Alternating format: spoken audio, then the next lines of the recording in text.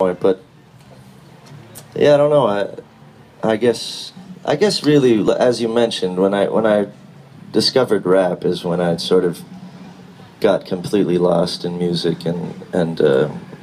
it sort of became informed everything sort of everything about me in some ways yeah Well, were there particular rap bands that you were listening to at that time that were making you want to go on out there and do it?